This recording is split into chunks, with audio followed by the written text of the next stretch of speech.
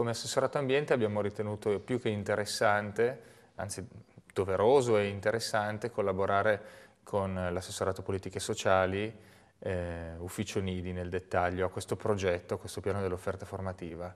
I bambini sono il materiale umano su cui dobbiamo investire e eh, si investe attraverso la conoscenza e il loro inserimento in un ambiente senz'altro eh, diciamo, figlio della cultura eh, moderna, ma anche richiamando eh, delle antiche suggestioni, quindi mettendoli a contatto con materiali naturali che per noi che siamo genitori o anche per i nonni sono naturali nei ricordi anche, cioè siamo abituati a ricordare quando giocavamo con i tronchi, con i rami.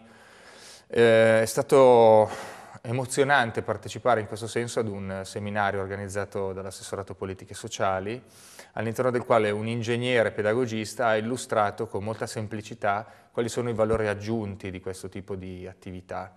Il bambino eh, incontra eh, problemi o pericoli sia utilizzando per esempio un pennarello che un ramo. La cosa eh, per una persona che non è abituata a pensare in questo senso è sbalorditiva, in realtà è l'esatta, è molto semplice. Ecco.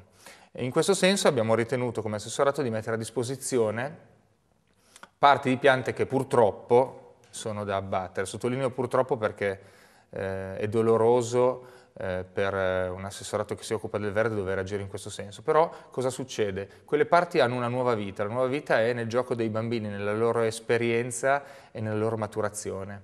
Ehm, questo progetto, eh, oltre a partire in questo modo, quindi con le sole, tra virgolette, piante, avrà sviluppi futuri perché abbiamo intenzione nel prossimo anno di eh, costituire all'interno dei nidi e delle scuole vedendo evidentemente dove sarà possibile per condizioni logistiche, economiche e quant'altro, costituire dei, ad esempio, laghetti per la coltivazione di libellule, che sono antagonisti naturali delle zanzare, pipistrelli, cioè attivare nei bambini un senso di eh, comprensione piena della realtà che li circonda e che caratterizza bene o male il nostro territorio.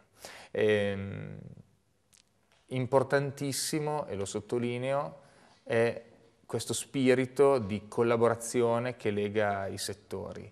Non esistono progetti eh, singoli che abbiano il respiro che possono avere progetti collettivi.